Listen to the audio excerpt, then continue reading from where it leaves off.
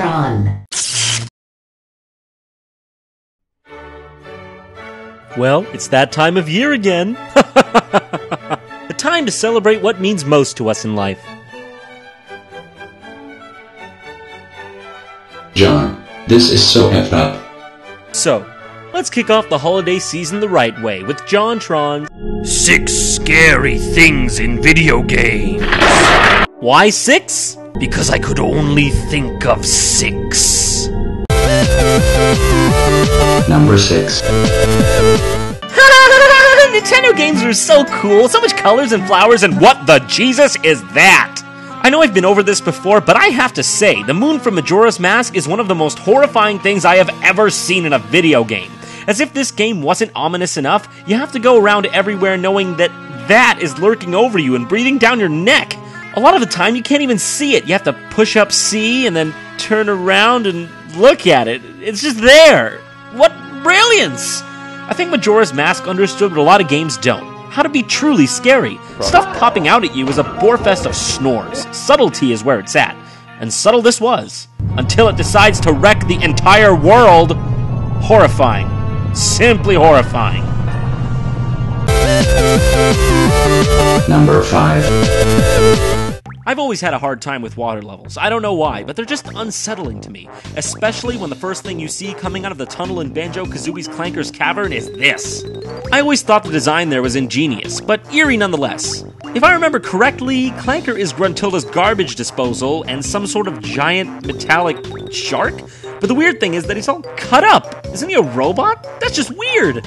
Especially for an E rated game. You gotta love the leniency back then. Turns out, though, that he's actually just misunderstood. But I don't care. I judge books by their covers. And I'm a communist. I never liked swimming next to this thing. It gave me chills, and I try not to look directly at it. Sorta reminds me of the eel from Super Mario 64. Perhaps that's what spawned my fear of the ocean depths. At the end of all this, though, you just gotta stop and appreciate. Through all the waste buckets of uninspired games, there lie a few visceral experiences, such as Clanker's Cavern, that remind us that we're still alive and breathing, even if it may have caused a few unwanted bedwettings.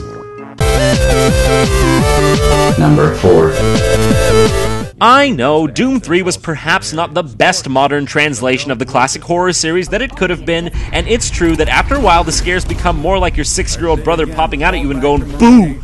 But let's face it, while it lasted, Doom 3 was the damn scariest thing next to Tainted Fruit Loops.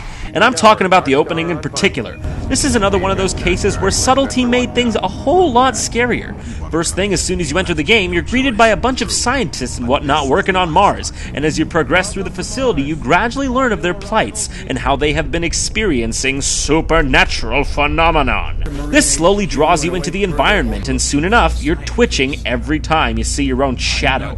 At this point, when the portal to hell finally breaks loose, you're cowering in fear just from the thought of having to see another zombie. This wouldn't have been nearly as scary if, for instance, the game skipped all the opening material and dropped you right into the fray. Don't you love it when game creators put time, effort, and, dare I say it, thought into the design of their games? Oh, horror genre, if only Resident Evil 5 didn't rape you in the mouth. Number 3.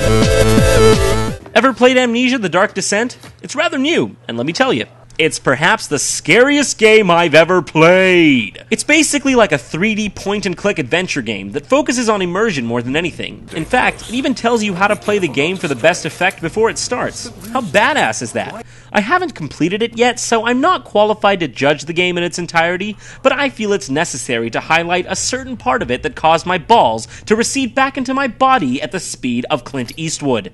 So you're going along, and what do you know? You come to a part where there's some water, and oh my god, what is that?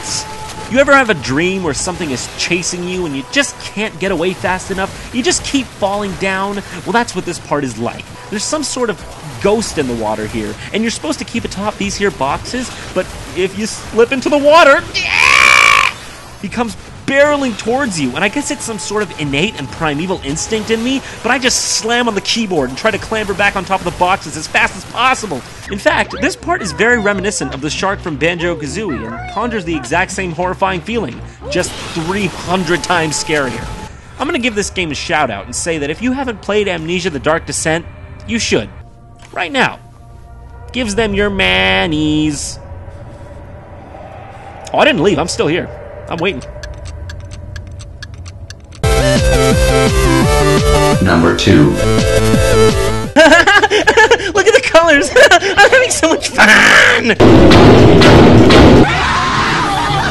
What is that, Nintendo? What is that? Why would you do that to us? That's like going up to your kid's bedroom, revving up a chainsaw with a Jason mask, and laughing your ass off at our poor snot dribbled faces. That piano from the haunted house level in Mario 64 is the bane of my existence. It gets me every time, even when I know it's coming. I guess it's because it happens just after you expect it to, or maybe just because the sound is terrifying in itself. I don't know, it's probably just because it's a freaking piano with teeth in it in Mario 64! To make matters worse, it does massive damage to you and you can't even kill it. You just have to run away with your dignity dribbling out from your pant leg. And you know what? I love it.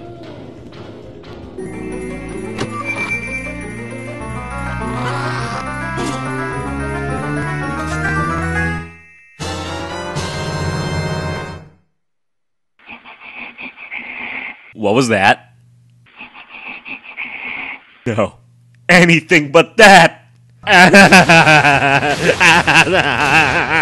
These are the scariest thing ever. Goddamn ever. Regenerators from Resident Evil 4 have caused me the most internal horror out of anything from any video game movie or presidential debate. It's that special kind of horror when you know it's coming in the back of your mind and you're dreading it and you don't know when until BAM! That noise they make is the stuff of nightmares, and if that wasn't enough, they are pretty much invincible. They're weird, they move funny, and. Resident Evil 4 got it right before 5 took a dump on its legacy lonely corridors filled with failed medical experiments. Now that is truly demonic. Go to normalboots.com right now to see a new JonTron game review. And if you want to follow us on social networking, go to facebook.com slash JonTron Show or twitter.com slash JonTron Show.